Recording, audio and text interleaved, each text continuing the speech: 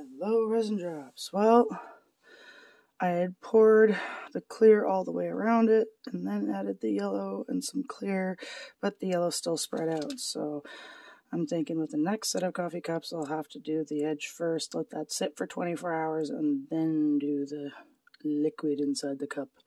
But anyways, it's time to unmold these. And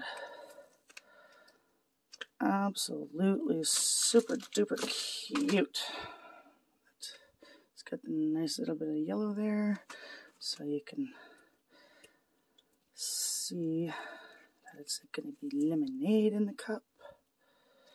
And these two are going to be super cute. And all I have to do is just add some lemonade pieces in there just like so, as well as some ice cubes for each one, just like that. I think those will be super cute inside and will be really cute little coaster uh, shakers.